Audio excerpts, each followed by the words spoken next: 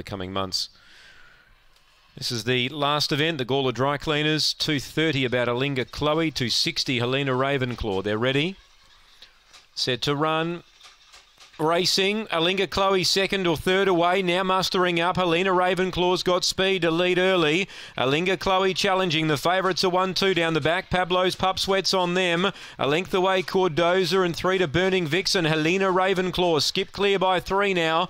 Alinga Chloe sticks on, then came running on Pablo's Pup, but Helena Ravenclaw makes it two in a row.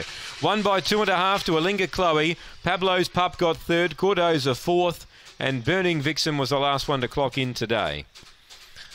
So Helena Ravenclaw, Kim Johnston goes back to back. Number four, strong run, found the lead, kick clear. Alinga Chloe tried hard. Number two, third, Pablo's Pup.